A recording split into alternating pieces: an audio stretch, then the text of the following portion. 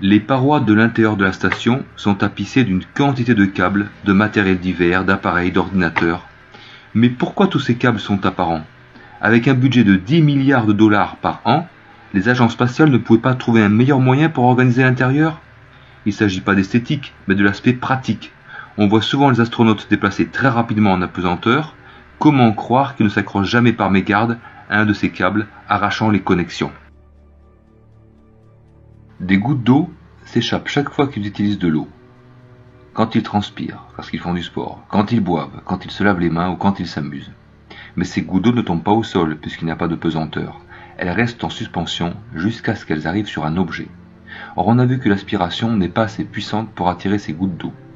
Elles finiront donc par se déposer sur les claviers d'ordinateur, entrant dans les connexions électriques, les micros de communication et sur les appareils divers.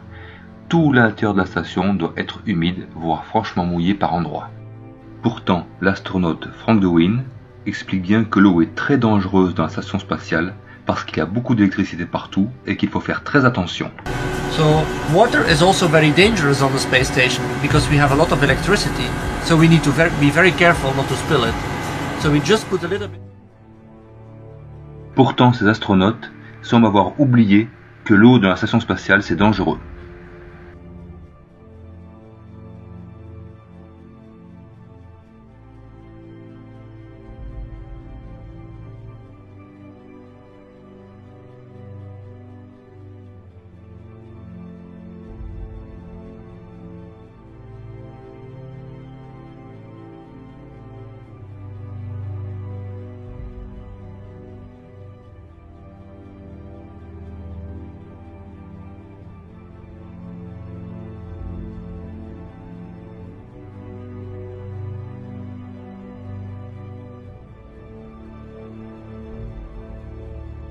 Math and science were kind of my favorite subject. I didn't really like uh, English in, in reading too much, but I've since grown out of that and I enjoy reading now. And I played a lot of sports. Cet astronaute And est all en of train that d'expliquer à un happened in a little étudiant town called York, quel Maine, son parcours scolaire United States from pour être maintenant dans la station to you right spatiale. Écoutez bien ce qu'il va dire. And all of that happened in a little town called York, Maine, across the United States from where we're talking to you right now. Tout ceci est arrivé dans une petite ville appelée York, Maine, à travers les USA, dont nous sommes en train de vous parler maintenant. Alors soit l'astronaute a oublié qu'il est dans la station spatiale, ce qui est plutôt curieux, soit il reconnaît qu'il est en train de faire un film aux États-Unis dans un studio.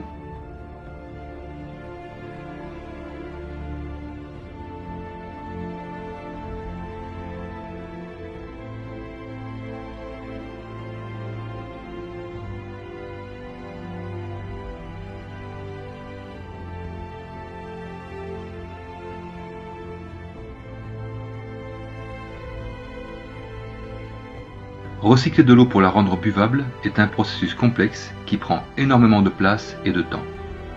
Il faut une grande quantité de filtres, de tuyauteries, de pompes et de produits.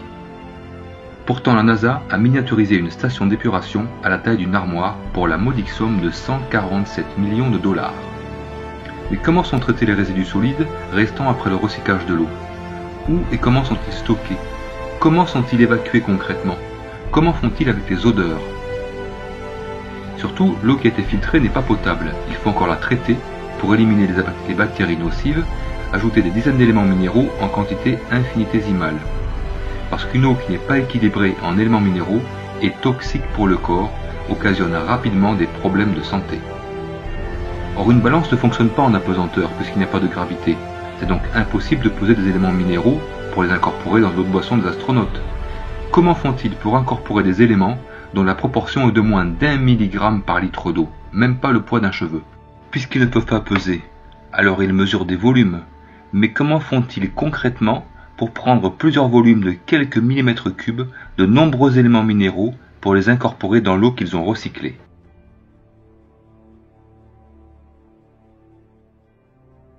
Les astronautes ne peuvent pas se laver ni prendre de douche, car l'eau ne coule pas en apesanteur elle reste collée au corps. De leur côté, pour, euh, bah, j'allais dire prendre sa douche, mais évidemment il n'y a pas de douche dans la, station, dans la station spatiale, on va dire faire sa toilette avec des lingettes. euh. Ils doivent donc mouiller une serviette et se nettoyer avec. Cela peut aller pour se nettoyer le visage comme le fait cet astronaute, mais ils doivent se laver en entier avec des serviettes humides tous les jours pendant plusieurs mois, plus d'un an pour certains. Sachant qu'en plus ils transpirent, puisque chaque jour ils doivent pratiquer une activité sportive pour ne pas perdre de masse musculaire. Ils doivent sentir bon après six mois passés dans la station spatiale à se laver ainsi. Imaginez que vous ne pouvez vous nettoyer qu'avec des serviettes humides pendant des mois et après avoir pratiqué du sport. Les astronautes se lavent aussi les cheveux avec un shampoing sans rinçage, puis ils s'essuient avec une serviette. Imaginez les femmes astronautes qui ont de longs cheveux dans la station spatiale. Dans quel état seront-ils après plusieurs mois de ce traitement? Est-ce qu'ils auront cet aspect-là bien sec, bien propre? Ou plutôt cet aspect-là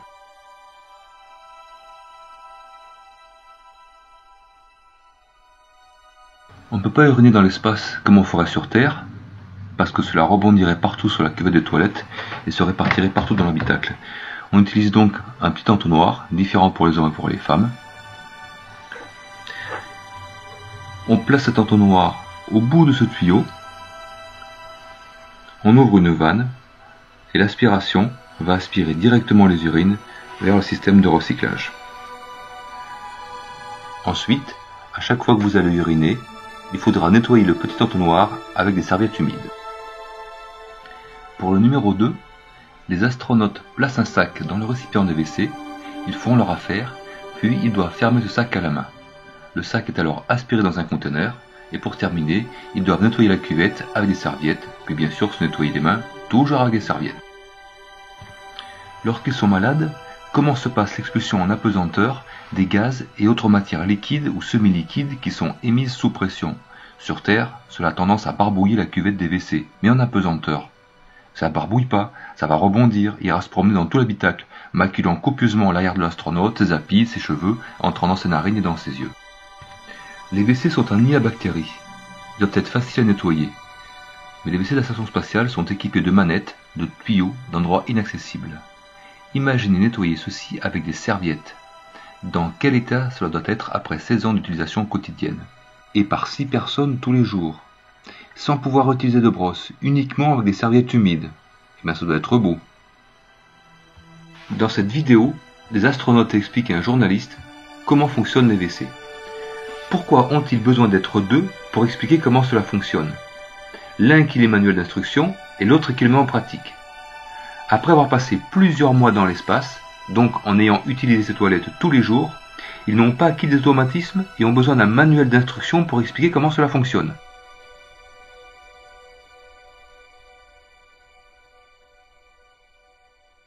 Voici donc le conteneur d'excréments dans lequel le sac, les petits sacs d'excréments des astronautes sont aspirés. Remarquez sa dimension. Six astronautes qui font leurs besoins tous les jours, ça doit vite se remplir. Et lorsque ce conteneur est plein, les astronautes l'amènent dans un vaisseau cargo qui l'évacuera dans l'espace. Et il se consumera dans l'atmosphère terrestre. Mais concrètement, comment cela se passe? Comment le conteneur d'excréments est-il stocké dans le vaisseau cargo? Puis concrètement, Comment est-ce qu'il est évacué de la station? Mécaniquement, on va dire. Pourquoi est-ce qu'il n'y a aucune vidéo montrant les astronautes en train d'effectuer cette tâche? Vous ne trouverez aucune information technique sur la façon dont sont évacués les déchets des astronautes. Il nous donne une quantité d'informations théoriques, de beaux schémas, mais aucune explication concrète sur la partie mécanique. Et comment croire qu'un stock de dizaines de sacs d'excréments fermés à la main ne dégage aucune odeur, et la station spatiale est entièrement fermée, il n'y a aucune ventilation venant de l'extérieur.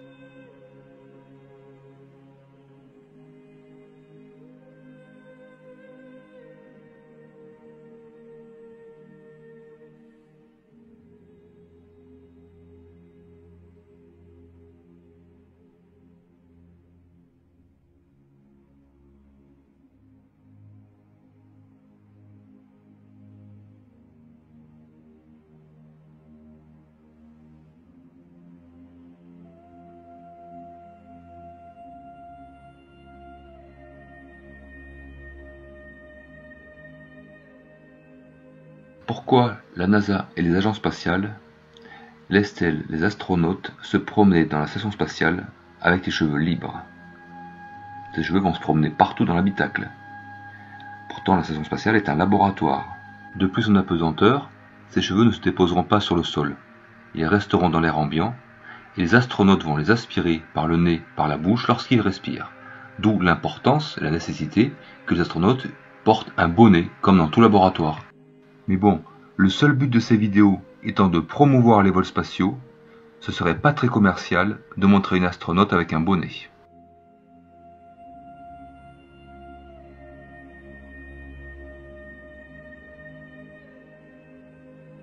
Lorsque les astronautes se préparent à manger, il y a parfois des miettes ou des morceaux de nourriture, ici c'est un bonbon ou un petit pois, je sais pas.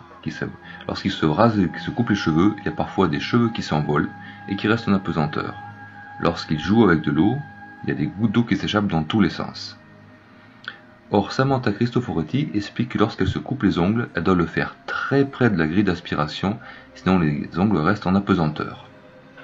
Lorsque Karen Dismerg se lave les cheveux, on va avoir des gouttes d'eau qui s'échappent et elles partent du côté opposé à la grille d'aspiration. Cela signifie que les grilles d'aspiration ne sont pas très puissantes, ou du moins pas suffisamment puissantes pour aspirer tous ces débris. Si les grilles d'aspiration étaient, suffisamment puissantes, on verrait les cheveux des astronautes voler dans ces courants d'air, on verrait leurs chemises bouger dans ces courants d'air. Ce n'est pas du tout le cas, ils restent statiques. Cela signifie donc que tous ces débris, les miettes de nourriture, les cheveux, les poils, les ongles, les poussières, les, fils qui s'échappent des habits, sont dans l'air autour des astronautes en apesanteur en permanence, et ceux-ci les respirent, ils rentrent dans les narines, dans la bouche. Ils devraient sans arrêt être en permanence en train de tousser.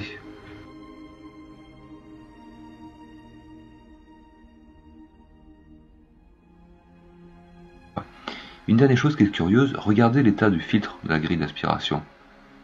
Elle semble toute neuve, comme sortie de son emballage. Il n'y a pas un grain de poussière, pas un cheveu, pas un poil. Alors qu'elle sert depuis plusieurs années dans la station. Curieux, non? Et savez-vous pourquoi est-ce qu'il nous montre des grilles d'aspiration toutes propres? Parce que le seul but de ces vidéos est de promouvoir ces prétendues missions spatiales pour que nous continuions à contribuer avec nos impôts sans discuter. Et ce ne serait pas très commercial de montrer une grille sale.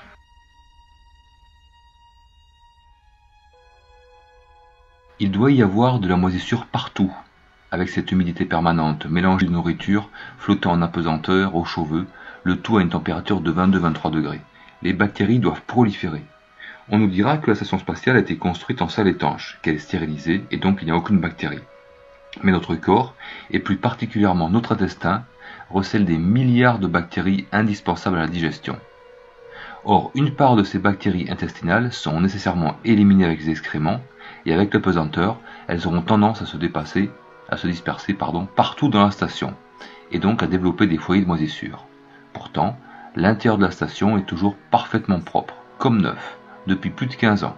Voici une photo du module Kibo de la station spatiale, qui est en place depuis 2009, et donc depuis 7 ans, regardez, il est parfaitement propre, pas une seule trace d'humidité, pas une seule trace de moisissure. Comment se passe la digestion? Lorsqu'on mange ou lorsqu'on boit, le bol alimentaire s'accumule dans le fond de l'estomac grâce à la pesanteur où il reste à peu près immobile. Puis, une fois que la digestion est suffisamment avancée, une porte appelée le pylore s'ouvre et libère petit à petit le contenu dans l'intestin. Mais dans l'espace où il n'y a pas de gravité, le chyme, c'est la bouillie pour la digestion, ne resterait pas au fond de l'estomac. Elle formerait une boule liquide se promenant et rebondissant sur les parois de l'estomac selon le déplacement des astronautes. D'une part, cela doit être très désagréable cette boule de liquide se déplaçant en permanence en apesanteur dans l'estomac. Mais surtout, la digestion se ferait très mal, puisque le bol alimentaire n'est pas en contact permanent avec les parois de l'estomac. Et lorsque le pylore s'ouvrira, rien ne passera dans l'intestin, puisque la bouillie liquide ne sera pas en contact avec le pylore. La digestion des aliments ne peut donc jamais se faire.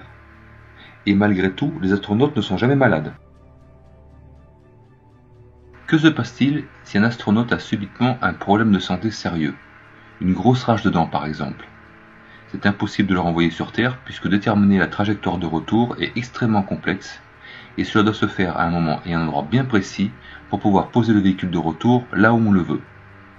Donc le, le malade attend plusieurs semaines avant de pouvoir revenir sur Terre. Il prend des médicaments pendant tout ce temps pour apaiser la douleur Or une rage de dents signifie qu'il y a peut-être un abcès en train de se développer cela peut vite devenir très grave, au point de nécessiter une opération chirurgicale rapide. Comment ça se passe alors? Il n'y a pas de matière de chirurgie dans la station spatiale, et les astronautes n'ont certainement pas les compétences pour cela. Comment se fait-il qu'en 16 ans, aucun astronaute n'a jamais eu de sérieux problèmes de santé dans les conditions où ils vivent, soi-disant? Aucun humain n'a expérimenté plus de 20 secondes consécutives en apesanteur, dans des vols zéro gravité, les avions équipés pour cela. Après ces 20 secondes, l'avion doit reprendre de l'altitude pendant une deuxième de minutes avant de pouvoir recommencer une nouvelle descente en apesanteur de 20 secondes.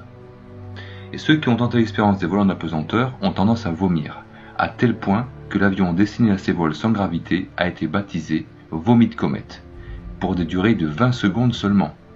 Mais les astronautes ne restent pas 20 secondes dans la station spatiale, ils y restent plusieurs mois, plus d'un an pour certains. Alors le corps humain n'est pas du tout adapté à un tel environnement où il n'y a ni haut ni bas. Cela doit perturber complètement les mécanismes internes de l'équilibre, ceux de la digestion, de la circulation sanguine, et de façon autrement plus grave que ce qu'on nous en dit. C'est impossible qu'ils prennent des médicaments pendant plusieurs mois de leur prétendu jour, cela les rendrait encore plus malades. De plus, puisqu'ils disposent de sacs spéciaux pour vomir, c'est que le problème se présente parfois. Mais lorsqu'un astronaute dans la station spatiale a tout à coup le besoin de vomir, il n'a pas nécessairement un sac juste sous la main. Alors les particules et liquides récurgités flotteront en apesanteur, se déposant dans les cheveux, entrant dans les yeux, dans les narines, tachant les vêtements. Et surtout, flottant en apesanteur dans l'habitacle pour encore un bon moment. Comment les astronautes peuvent-ils supporter de telles conditions de vie pendant plusieurs mois?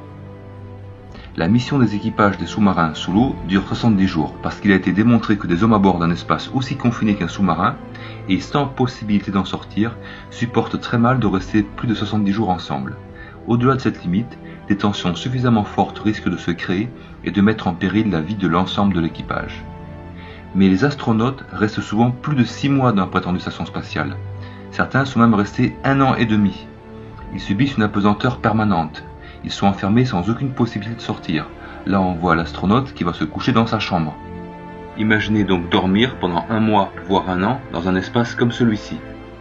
Ils n'ont jamais de soleil, jamais d'air frais, ils ne mangent que de la nourriture déshydratée, ils ne boivent que de l'eau recyclée provenant de leurs urines et de leur transpiration. Ils vivent dans un environnement sale, malgré ce qu'on nous montre. Ils sont sales, ils portent des habits sales, ils sont à chaque instant dans des conditions de risque extrêmes. Il suffirait d'un infime incident, une panne d'électricité, une fissure dans les parois, une météorite ou un débris de satellite percutant la station et la situation deviendrait gravissime, voire mortelle en quelques secondes. Mais sur les vidéos, les astronautes sont toujours souriants, font les clowns, ne semblent jamais souffrir des conditions dans lesquelles ils vivent soi-disant depuis plusieurs mois. L'espace est parcouru en permanence par des météorites de toute taille et des dizaines de millions de débris qui sont en orbite autour de la Terre. Ces débris proviennent des restes de lancement de fusées et de collisions entre satellites. La position et la trajectoire des débris les plus volumineux est connue, mais la majorité soit plusieurs millions, sont des objets ne pesant que quelques grammes et se déplaçant à 28 000 km par heure. Les panneaux solaires de la station spatiale ont une surface totale de 2500 m2 et sont fixés sur un film plastique très fin. Eux n'ont aucune protection contre les météorites et les poussières de météorites. Celles-ci arrivant à plusieurs kilomètres par seconde passeraient au travers ces panneaux comme au travers d'une feuille de papier.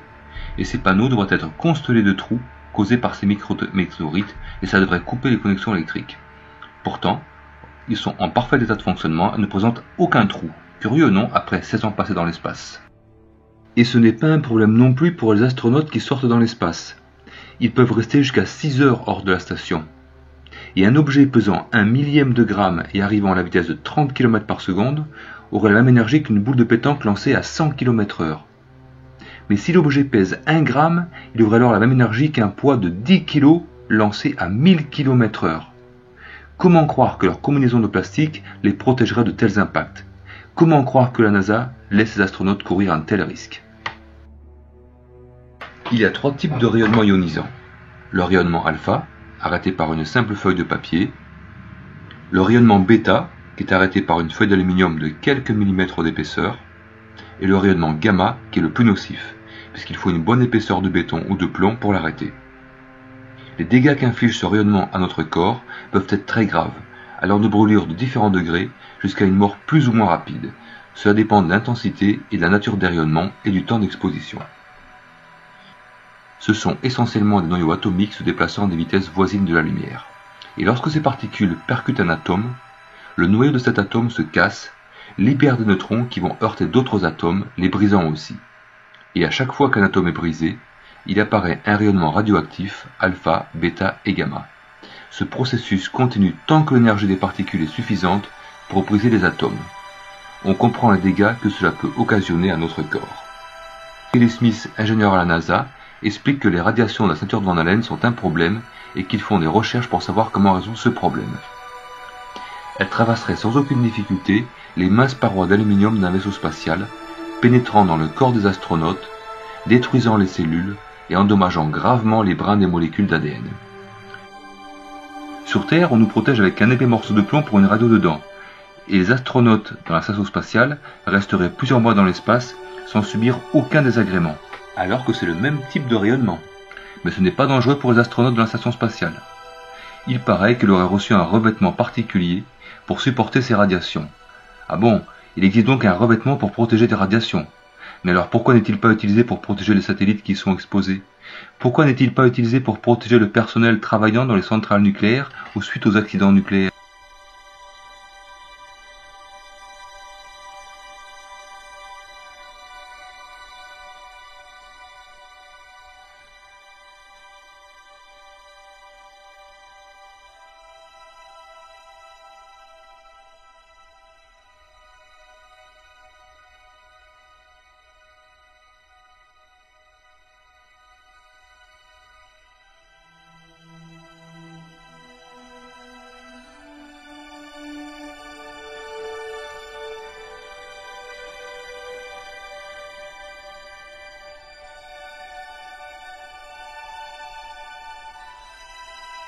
Les astronautes reviennent sur Terre avec le module de retour russe Soyouz. Une fois que les trois astronautes sont entrés dans le module, il est écarté de la station spatiale, puis des moteurs fusées sont allumés pour l'envoyer vers le sol. Ensuite, il est séparé en trois parties, et seule la partie centrale atterrira. Les deux autres parties se consumeront dans l'atmosphère. Pendant le retour, les astronautes ne peuvent absolument rien diriger pour plusieurs raisons logiques. D'abord, on ne dirige pas un engin de plusieurs tonnes tombant vers la Terre comme on dirige un avion. C'est le pilote qui dirige l'avion, alors que la trajectoire d'un engin dans l'espace est extrêmement complexe et ne peut être déterminée qu'en effectuant de longs calculs sur ordinateur. Avec seulement deux petits hublots latéraux, les astronautes ne peuvent pas diriger. Il y a bien un périscope qui renvoie une image vidéo sur l'écran central, mais pensez-vous qu'on puisse diriger un engin tombant vers la Terre à la vitesse de 28 000 km/h qui accélère, qui n'a aucune stabilité en n'ayant qu'un minuscule écran pour voir où l'on va.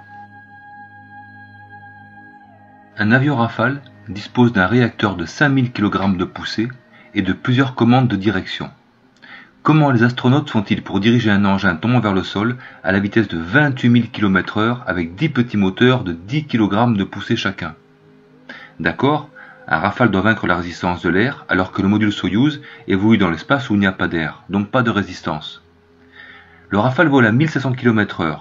Le Soyuz pèse à peine moins lourd et tombe vers le sol à plus de 28 000 km/h. Il a une inertie énorme. Comment voulez-vous diriger un engin allant à une telle vitesse avec 10 petits moteurs fusées de 10 kg de poussée chacun? Et comment font-ils pour gérer individuellement la poussée de ces 10 moteurs? C'est pour cela que c'est ridicule de les voir feuilleter d'épais cahiers d'instructions. Parce que même si le commandant de bord découvrait l'anomalie, il n'aurait pas le temps d'intervenir.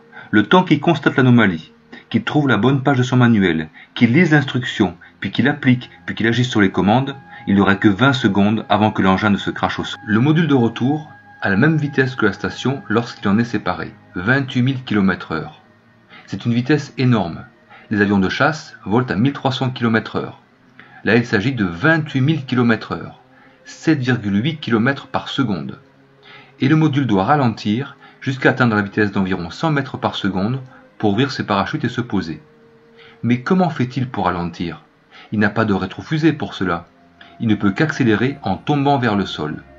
Selon la NASA, un plasma se formerait en haute altitude, ralentissant le module. Comme d'habitude, c'est impossible à prouver. Et pourquoi un plasma pourrait ralentir un objet de plusieurs tonnes tombant à une vitesse de 28 000 km par heure?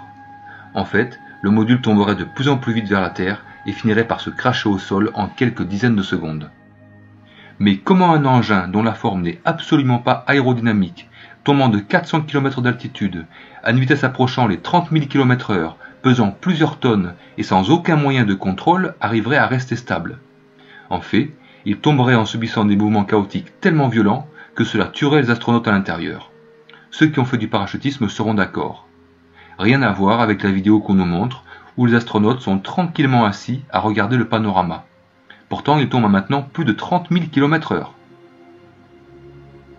Remarquez aussi les stries obliques sur le module pour montrer les traces de friction de l'air. Comme si cet engin était tombé en gardant toujours le même angle. Ben voyons. Personne ne sait comment se comporterait le module de retour en chute libre depuis la haute atmosphère, parce qu'il n'existe aucun moyen de faire des tests. Il y a les souffleries subsoniques permettant d'étudier des avions en taille réelle, mais à des vitesses inférieures à 1300 km/h. Le module Soyuz tombe à 28 000 km/h en accélérant. Il y a des souffleries hypersoniques, mais les objets étudiés sont fixés, ne mesurent pas plus d'une dizaine de centimètres, et la vitesse de la soufflerie est inférieure à 4000 km/h. Dans les deux cas, cela n'a absolument rien à voir avec les conditions réelles où le module de retour pesant plusieurs tonnes tombe en chute libre vers le sol à la vitesse de 28 000 km/h. Donc la NASA a soi-disant envoyé des hommes dans l'espace sans savoir comment se comporte un engin de retour tombant vers le sol à une telle vitesse.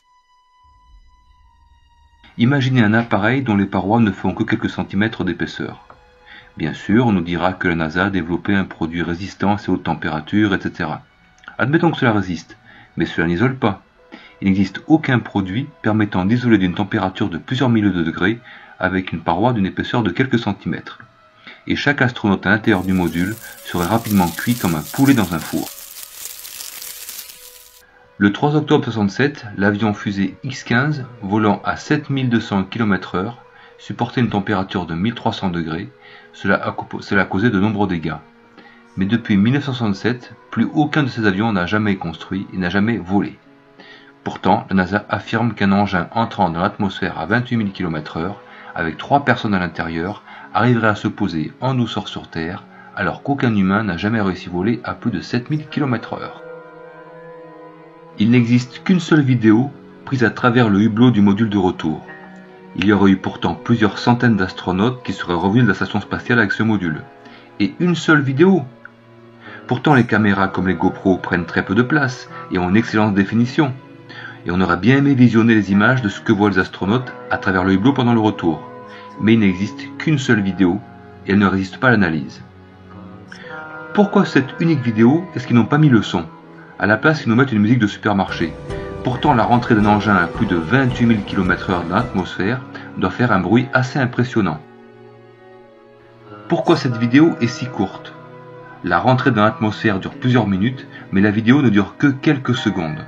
Pourquoi on ne voit pas d'image de la Terre? On ne voit qu'un vague défilement de couleur orange.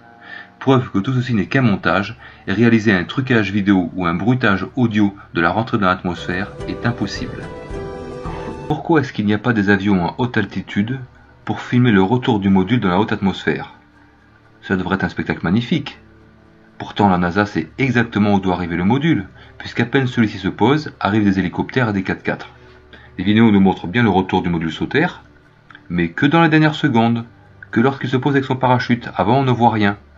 Pourtant, la NASA nous montre une quantité incroyable de vidéos à l'intérieur de la station spatiale, un tel déguisé en gorille, un autre faisant un sandwich, d'autres qui jouent au ping-pong, d'autres qui jouent de la guitare, mais il n'y a pas une seule vidéo montrant la rentrée dans l'atmosphère, sur plus de 140 retours. Comment ça se fait que chaque module de retour atterrisse à quelques kilomètres du point prévu? On voit systématiquement les hélicoptères, les véhicules arriver en quelques secondes. C'est impossible d'obtenir une telle précision avec un engin arrivant de plus de 400 km au-dessus de la Terre et après un déplacement de plusieurs milliers de kilomètres il y a trop de paramètres inconnus qui interviennent. La densité de l'air, les vents en haute altitude qui peuvent souffler à plus de 300 km h Et avec un écart de seulement une minute dans l'une des procédures, à cause de la rotation de la Terre, l'engin se poserait 500 km plus loin que le point prévu. Il faudrait alors plusieurs heures aux hélicoptères et encore plus aux véhicules pour arriver. Pourtant, ils sont toujours là exactement là où le module atterrit. Quelle précision Avant d'utiliser le module Soyuz, on utilisait la navette spatiale, ou shuttle, pour emmener les astronautes dans la station spatiale et les ramener à Terre en se posant comme un avion. L'ensemble de la fusée et de la navette pèse au départ plus de 2000 tonnes. La navette elle seule pèse environ 78 tonnes. Il y aura eu 135 missions avec cette navette spatiale. Le programme a commencé en 1981 et a été arrêté en 2011, soi-disant pour des raisons budgétaires. C'est plutôt parce que cela devenait trop difficile de cacher la fraude. Pendant toute la mission, la navette est attachée à la station. À la fin de la mission, elle est détachée et redescend vers la Terre avec des astronautes. Sa vitesse qui est de 28 000 km/h augmente rapidement et elle va parcourir plusieurs milliers de kilomètres avant d'atterrir sur Terre. À ce moment, la navette vole en arrière et doit effectuer un demi-tour de 180 degrés. Pensez-vous qu'il est facile d'effectuer un demi-tour de 180 degrés avec cet engin pesant 78 tonnes, volant à 28 000 km/h et qui doit impérativement entrer dans l'atmosphère avec un angle très précis, un moment très précis et avec un angle très précis? Si la navette entre trop à l'horizontale, elle rebondirait sur l'atmosphère et serait renvoyée dans l'espace et ne pourra plus jamais revenir sur Terre. Si elle entre trop à la verticale, elle accélérerait sa chute la friction de l'air serait trop importante et elle brûlerait ou se cracherait au sol. Il faut donc que la navette entre dans l'atmosphère avec un angle extrêmement précis. Et si elle rentre un peu trop tard dans l'atmosphère ou pas au bon endroit, elle pourrait arriver à plusieurs centaines de kilomètres du point prévu, donc s'abîmer en mer ou bien s'écraser en montagne ou dans plein désert. Voici une photo de la NASA, soi-disant de la navette spatiale qui rentre dans l'atmosphère. Très bien. Une seule photo, en 135 retours, une seule photo. Et aucune vidéo. C'est curieux comme on aurait bien aimé avoir des vidéos, ça aurait été spectaculaire à voir. Mais il n'existe rien. Aucune vidéo. Et ce qui est curieux aussi quand on regarde cette photo, est-ce qu'elle vous donne l'impression d'être réelle? On dirait qu'elle a été retouchée et retouchée sur Photoshop. Pourquoi est-ce qu'il n'existe aucune vidéo, aucune photo de la rentrée de la navette spatiale dans l'atmosphère prise depuis un avion en haute altitude? Ça devrait être spectaculaire. Pourtant, il n'existe rien. Ils nous montrent quantité de vidéos des astronautes dans la station spatiale, mais ne peuvent pas nous montrer de vidéos de la navette rentrant dans l'atmosphère terrestre. Ou peut-être parce que c'est impossible de réaliser des trucages vidéo de ce retour dans l'atmosphère. Il existe des vidéos montrant l'intérieur du cockpit de la navette avec des astronautes pendant leur retour sur Terre. Pourquoi ces vidéos sont d'aussi mauvaise qualité? La NASA n'avait pas les moyens d'installer des caméras haute résolution dans le cockpit le flou est bien pratique parfois. Et pourquoi le son des commentaires des astronautes est d'aussi mauvaise qualité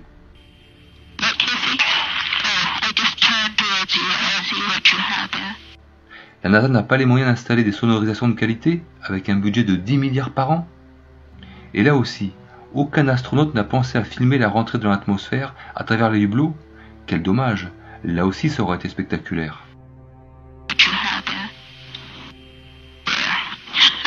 Le magicien David Copperfield donnait l'impression de voler dans les airs pendant son spectacle. Il était suspendu à des câbles très fins qui prenaient la couleur du fond de la scène. Mais si le cinéma arrive à obtenir des effets donnant autant l'impression de la réalité, pourquoi la NASA disposant de beaucoup plus de moyens ne le ferait-elle pas elle aussi? Pour obtenir cet effet d'apesanteur, plusieurs techniques sont employées et mixées. La première, c'est le fond vert, la plus connue. Les astronautes sont filmés en studio devant un écran vert puis avec un traitement informatique, l'écran vert est remplacé par des images que l'on insère. Ici, une scène du film Gravity avec Sandra Bullock. Ces câbles sont manœuvrés manuellement ou par télécommande. Ils sont fixés à un harnais très fin qui épouse le corps de l'astronaute. Ensuite, les câbles seront effacés de l'image. Ces moyens pour reproduire l'apesanteur sont développés depuis des années au centre de recherche de l'anglais. On se doute qu'ils ont inventé des machines beaucoup plus perfectionnées pour donner l'impression que les astronautes sont en apesanteur. La plupart des images de la station spatiale des astronautes sont réalisées en images de synthèse par de puissantes stations de traitement de l'image. On voit ici un ingénieur ou un technicien qui est en train de travailler sur une image de la station spatiale. Et ce sont des images de synthèse. Voici maintenant quelques trucages utilisés par le film Gravity. Vous voyez qu'on arrive à combiner des images de synthèse et des images réelles d'une façon assez étonnante. Et si le cinéma arrive à obtenir de tels effets d'une telle qualité, pourquoi est-ce que la NASA, qui dispose de budget de plusieurs milliards de dollars, ne ferait pas la même chose? Avec des effets encore bien sûr plus performants. Certaines séquences, les astronautes, sont tournées dans des avions en apesanteur pendant 20 secondes, parce que les vols réels en apesanteur ne peuvent pas durer plus longtemps. Puis ces séquences sont reliées entre elles pour donner une impression de continuité. Et enfin, on lit le tout avec des logiciels de traitement de l'image. Les images des astronautes en sortie extravéhiculaire sont tournées en piscine, dans de grands bassins équipés pour cela.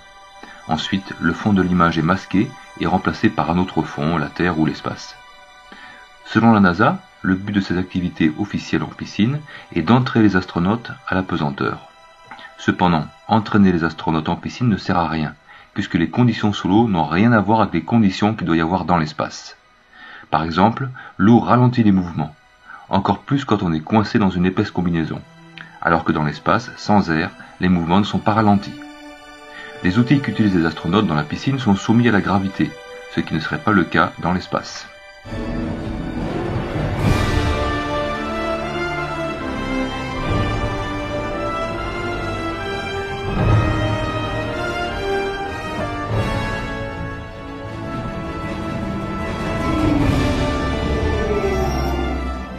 Depuis la Terre, on peut voir un point jaune se déplaçant dans le ciel. Ils nous disent que c'est la station spatiale, avec plusieurs astronautes à bord. Il y a des sites où on peut avoir les heures de passage de la station spatiale selon la position de l'observateur. On peut aussi avoir la position de la station spatiale au-dessus de la Terre. Il y a aussi une émission soi-disant en direct depuis la station spatiale, NASA Live. Parfois on y voit la Terre vue depuis l'espace, c'est peut-être la seule chose de vrai dans tout ce mensonge, mais le plus souvent, on ne voit rien du tout. Pourquoi les émissions en direct depuis soi-disant l'intérieur de la station spatiale sont si rares? Pourquoi la qualité des images est si mauvaise? La NASA n'a pas les moyens de mettre des caméras de qualité, encore une fois Le flou est bien pratique pour cacher les détails. Et pourquoi on y voit si peu les astronautes? Pourtant 6 personnes, parfois 12 dans un espace de 200 mètres carrés. Cela doit se voir, non? Et lorsqu'on arrive à voir la station spatiale depuis la Terre à l'œil nu, on ne voit qu'un gros point brillant légèrement jaunâtre se déplaçant lentement dans le ciel. Il faut un télescope suffisamment puissant pour voir plus de détails. Pour réaliser l'image ci-contre, il faut un télescope d'au moins 400 mm d'ouverture, disposant d'excellentes optiques qui doit être utilisé avec un système de pointage, un système de suivi et nécessitant un certain niveau de connaissance pour l'utiliser. L'ensemble coûte pas loin de 10 000 euros. Même avec un bon télescope, l'image obtenue reste floue et il faut la traiter avec des logiciels de retouche vidéo pour la rendre plus nette. Au final, qu'est-ce qui prouve que ce point qui se déplace dans le ciel est une station spatiale avec plusieurs astronautes à bord?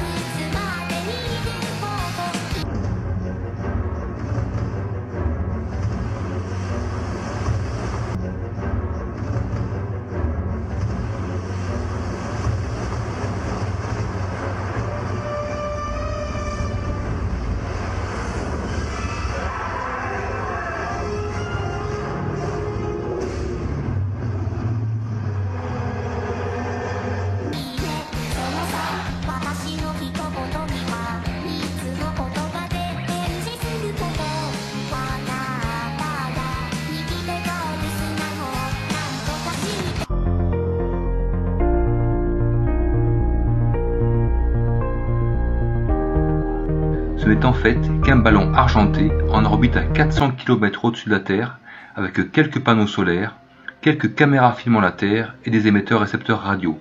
Mais pas un seul astronaute, bien sûr.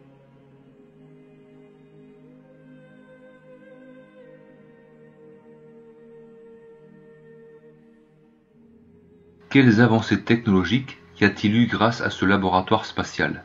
Aucune. Rien de nouveau n'a été découvert dans cette station. Aucune nouvelle technologie n'a été découverte dans la station spatiale. On a inventé de nouvelles technologies sur Terre, puis la NASA les a utilisées et améliorées pour réaliser cette histoire. Mais rien n'a été inventé ou découvert dans la station. Voici la partie la plus délicate. Comment tromper autant de monde? Comment se fait-il que jamais personne n'a parlé? Des dizaines de milliers de personnes travaillent tous les jours en ce moment sur cette histoire. Plus de 500 astronautes seraient soi-disant allés dans l'espace. Et jamais personne n'a parlé. Les astronautes qui donnent des conférences semblent sincères. Cela se verrait s'ils mentaient, avec le nombre de vidéos qui sont réalisées presque tous les jours. Leurs familles, leurs proches finiraient par avoir des doutes, cela finirait par se savoir. La seule explication serait la programmation mentale. Avec des techniques appropriées et sur quelqu'un consentant, on peut changer sa perception de sa réalité. Il voit et vit autre chose que ce qu'il y a réellement. Le fascinateur canadien Mesper est un spécialiste. Il y a aussi le français Jean-Emmanuel Combe de Street Hypnose et bien d'autres. Allez voir leurs vidéos, c'est vraiment spectaculaire.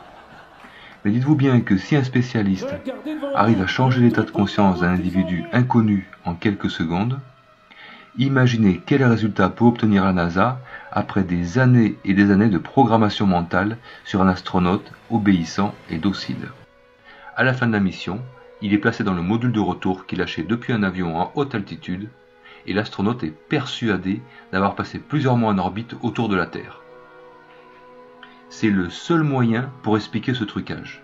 Ou alors, ce sont des menteurs professionnels, et ils sont très forts, mais c'est possible aussi l'astronaute reçoit un salaire de 9000 euros par mois, sans avoir vraiment besoin de travailler. Même s'il commençait à avoir des doutes, pensez-vous qu'il va parler? La NASA dépense plus de 10 milliards par an pour ce mensonge. Payer 560 astronautes ne représente que 0,6% du budget annuel pour la station spatiale. On se doute aussi que si un astronaute ou un employé tentait de dire la vérité, la NASA et les autres agences spatiales disposent d'assez de moyens pour le faire taire d'une façon ou d'une autre. Les dizaines de milliers de salariés travaillant sur ces missions ne se posent pas de questions parce qu'ils sont persuadés que la station spatiale existe. Ils sont aussi persuadés que des astronautes sont allés sur la Lune et que la bombe atomique existe. Ceux qui savent ne disent rien parce que s'ils parlaient, ils perdraient leur emploi et seraient bannis à vie de leur activité, ne trouveraient plus de travail.